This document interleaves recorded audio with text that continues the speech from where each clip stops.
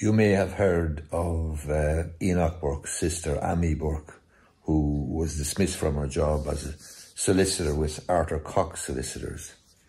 Back in May of, she went to the WRC with an unfair dismissal claim and the adjudicator at the WRC was unable to conduct the hearing or carry on with the hearing and abandoned it and basically threw her case out on the basis that he had issued a number of warnings to Ammi Burke and her mother in relation to their conduct and so on. And he felt that he was unable to conduct the WRC unfair dismissal hearing and so dismissed her case. Ammi Burke then brought a claim or brought a case rather to the High Court and she was looking for an order from the High Court basically uh, against the Workplace Relations Commission and against, I think, against Arthur Cox, but certainly against uh, the Workplace Relations Commission in the way that they conducted the unfair dismissal hearing and that the Workplace Relations Commission had acted unlawfully and so on. There was a High Court hearing then in May of this year, May 2023, and at that hearing the judge abandoned the hearing basically because she felt that or decided that Ammi Burke was basically engaged in what she described as a blatant abuse of the court process. The question then arose after the High Court case was thrown out in May, the question of costs had to be dealt with.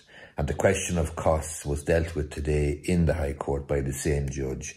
But today as well, what happened was the judge had to terminate the hearing uh, with uh, without any delay and basically uh, because of uh, what she said was Ammi Burke's conduct. So just to be clear, the judge terminated the hearing uh, because of Ammi Burke's conduct today at the costs hearing, and this was only the costs hearing. The judge will now decide the issue of costs based on written submissions from the parties. What happened today was the hearing was terminated after uh, repeatedly asking the solicitor, Ammi Burke, to stick to the issue and refrain from accusing others of lying.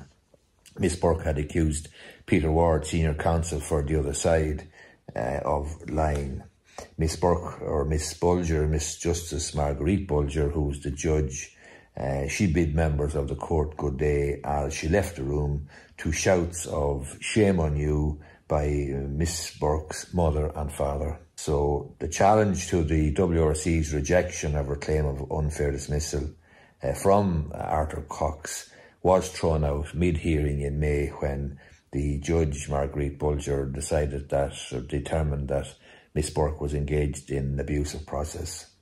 At the outset of the hearing on Wednesday, that's today, the judge warned that she would end the session early and rely solely on written submissions uh, if Miss Burke repeated her earlier behaviour, such as shouting down the judge and opposing lawyers.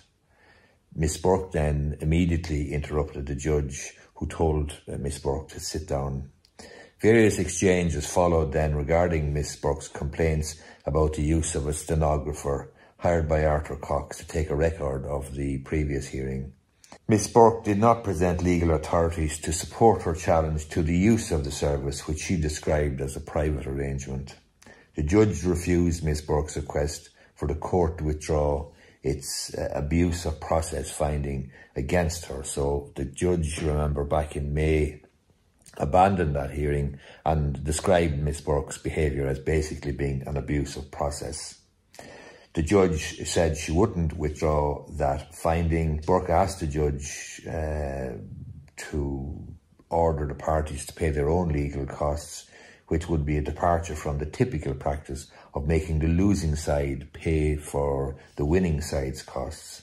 The WRC and Arthur Cox uh, opposed this. Previously, the counsel for the WRC and counsel for Arthur Cox urge the court to award their clients costs, um, even though on a legal practitioner and client basis. And such an order would mark the court's disapproval of Miss Burke's conduct during the May hearing, said Miss Donnelly. Miss Justice Bolger, then the judge, formally rejected uh, Miss Burke's allegation of lying against Mr. Ward, said there was no basis for this allegation. Miss Burke told the court it must look to the conduct of the parties, to which the judge responded, Oh, the court will be looking at the conduct of the parties, you can rest assured. Miss Burke continually challenged previous findings of the court and raised issues that the judge did not consider to be relevant because remember the judge today was only concerned with the question of costs. After repeated requests for her to refrain from accusing others of lying, uh, to control the people with her, presumably that was her parents, and speak only on the issue of costs and final orders, Miss Justice Bolger ended the hearing. She will deliver her decision on the final orders and costs at a later date. Miss Burke's WRC complaint alleging she was unfairly dismissed from Arthur Cox in late 2019 was dismissed due to persistent interruptions from the Burke family, particularly uh, Miss uh, Ammi Burke's mother, Martina Burke. Arthur Cox were defending that case and were def- denying that she was unfairly dismissed. So that's the latest uh, saga or episode in the saga. Um, the cost hearing has now been abandoned by Miss Justice Marguerite Bolger and she'll make her decision based on the written submissions of the parties. Hope you find this video useful. If you're watching this video on YouTube, you may be interested in subscribing or hitting the like button down below. And if you're listening to it on Spotify or iTunes, if you're listening to the podcast, you may be interested in leaving a review or giving it uh, or submitting or um, signing up as a subscriber. Just subscribe to my podcast. Thanks a lot.